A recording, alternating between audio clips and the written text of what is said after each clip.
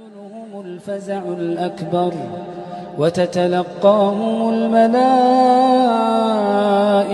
هذا يومكم الذي كنتم توعدون يوم نطوي السماء كطي السجل للكتب كما بدأنا أول خلق نعيده وعدا علينا كنا فاعلين.